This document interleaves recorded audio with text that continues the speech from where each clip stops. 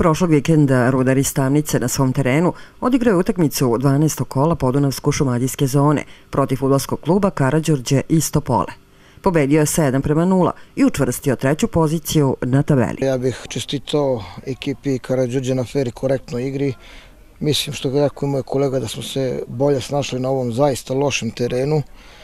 Ovaj, u ovom trenutku opet kažem, mi smo od Raborova u padu forme, imali smo taj težak kup, jedva smo pobedili prošlo kolo 1-0 u 90. sada u 88. minutu, malo nas je sreća prati.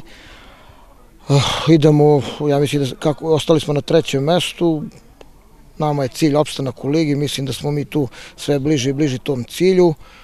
Očekuje na zadnje kolo kod Morave velike plane, mislim da tu bez dva igrača koji su danas su dobili parne kartone, tako da ne idemo bez bele zastave, probat ćemo sve da uradimo, zahvaljujem se publici koja je došla u veliko velikom broju, mislim da, je, mislim da smo za ovaj jedan gol bili bolji, imali smo tri kolosalne šanse, Gosti su imali dva, tri slobodnjaka sa 17-18 metra i jednu polu šansu, jednu šansu. Mislim da smo bili bolji za ovaj jedan gol. Eto, ništa, sve najbolji nama i njima u daljem toku prvenstva. Pa teška utakmica na još težem terenu gde su se gosti bolje snašli, što i normalno, gde su se domaćini, ja se izvinjam, bolje snašli, što i normalno provode najviše vremena ovde, mnogo više nego od nas. Od nas mi smo navikli neku drugu igru što ovde nije bilo moguće odigrati i uraditi.